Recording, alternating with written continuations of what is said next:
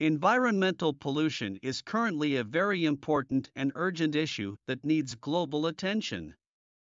This is a controversial and urgent situation for both governments and people around the world. At the same time, it is also the cause of more deaths, and its figure keep tripling each year.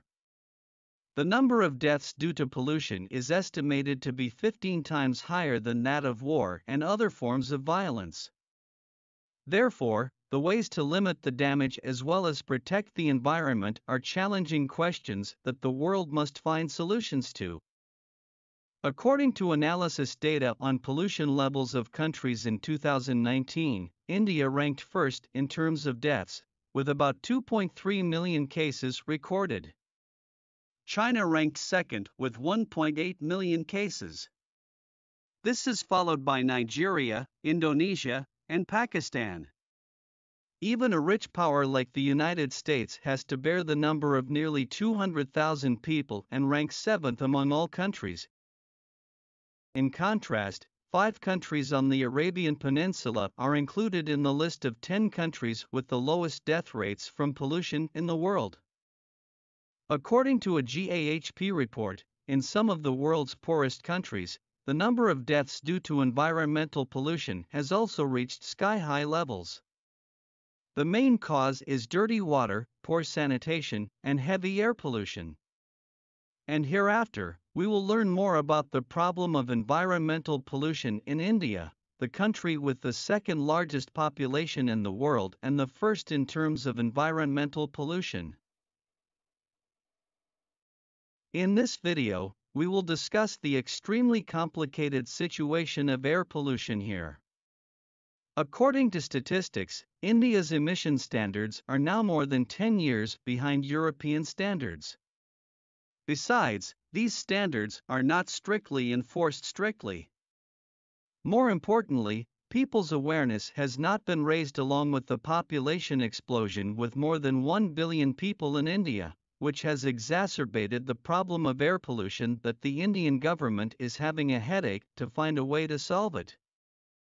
In November 2021, the air quality measured in India reached hazardous levels. The country's air quality index has reached 499 500. This means that even healthy people are at risk for respiratory diseases. New Indian analysis shows that pollution leads to chronic obstructive pulmonary disease, respiratory infections, lung cancer, heart disease, stroke, diabetes, neonatal disorders, and cataracts. Acute respiratory infections are also one of the common causes of death in children under 5 years of age. Every year, New Delhi, the capital of India, also the most polluted city in the world, has been facing very poor air quality, especially in winter with polluted air covering the capital.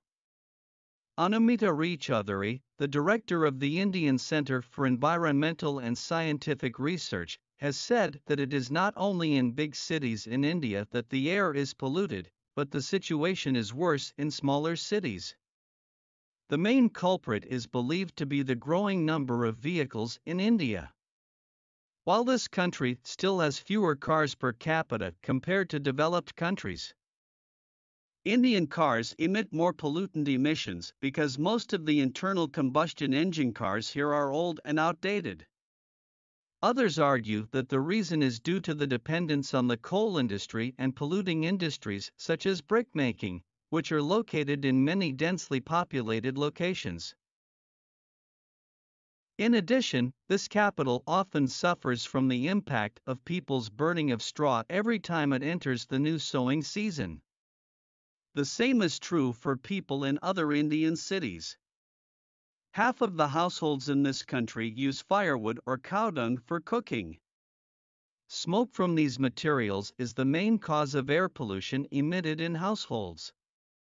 Another cause is pollution emitted from the use of furniture spray paint and cleaning agents, and also external pollution such as dust from construction sites and traffic. These are also the leading causes of premature death in India. To ensure the health of the people, the authorities of several cities across India have installed pollution monitoring devices. The data helps people know the peak pollution times of the day and plan to respond and limit the harmful effects of pollution. However, many long term measures and roadmaps are still needed to limit and minimize the harmful effects of environmental pollution. Some of the measures put in place are limiting personal vehicles and increasing the use of public transport, prohibiting trucks from entering the city as well as densely populated areas.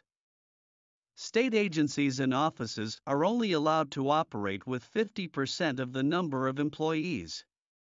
Decommissioning some coal power plants around major cities, and finally banning the burning of rice straw during the sowing season. Today, environmental activists are still actively sharing their data with local governments and the public to raise awareness of the urgent need for cleaner air both indoors and outdoors. And hope that environmental pollution will be increasingly overcome in this billion people country.